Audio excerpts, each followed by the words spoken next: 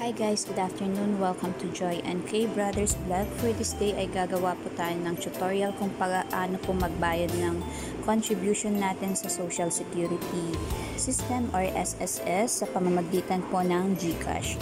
So, kailangan po natin na i-open po ang ating GCash account. Yung sa akin po ay naka-open na dahil kailangan pong mag-login at kailangan pong ilagay yung password. So, yan po naka-login na po na tayo. So, kailangan po nating hanapin yung payment or pay bills. So, heto po siya. Kung nakikita nyo, heto yung pay bills. So, click lang po natin siya. And then, meron po dito yung biller category. So, kapag makikita nyo po, may electric utilities, water utilities, cable, internet, and etc.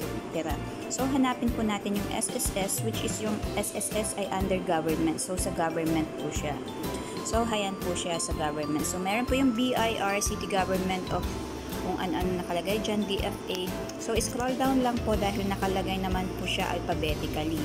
So, eto po siya. Hanapin po natin yung SSS. So, meron po itong SSS PRN.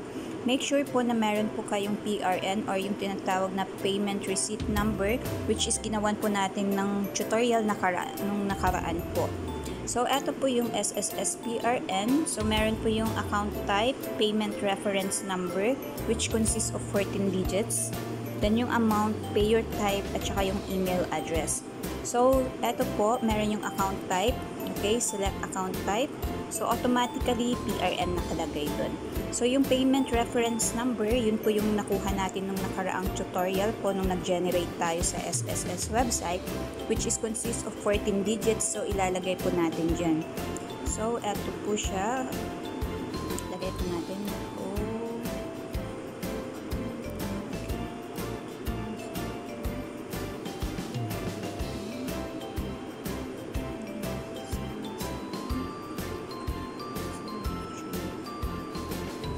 So, double check lang po natin siya kung 14 digits po siya. 1, 2, 3, 4, 5, 6, 7, 8, 9, 10, 11, 12, 13, 14, which is so far 14 digits naman siya.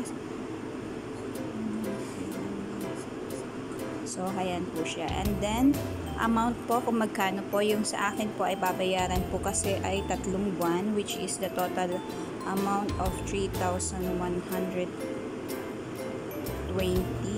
okay then pay your type. So yan po siya. Kung uh, self-employed ka ba voluntary OFW contribution non-working spouse. So yung OFW contributions po yung nakaano sa amin. And then check po natin. So email address. So yung email address po natin lagay po natin which is yung kailangan po yung active siya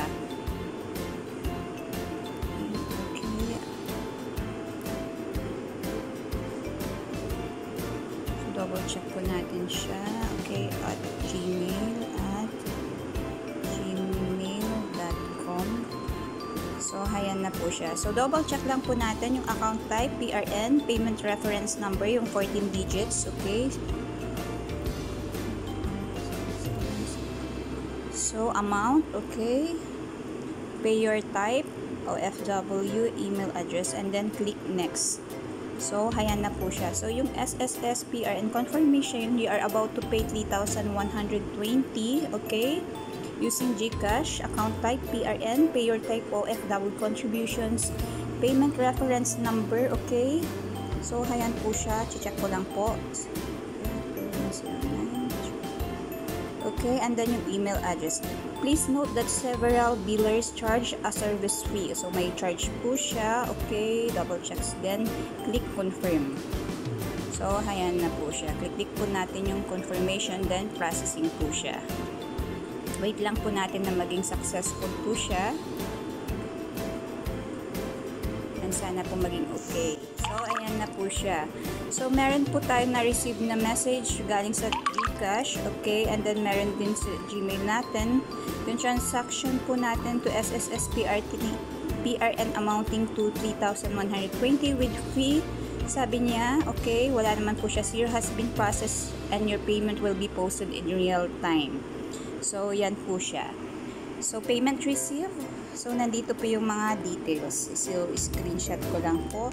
And then, click lang po natin yung done after. So, dap, ah, maraming salamat po and hopefully po may natutunan po kayo sa ating tutorial. Thank you very much po and God bless po sa lahat. So, yun lang po guys. Thank you!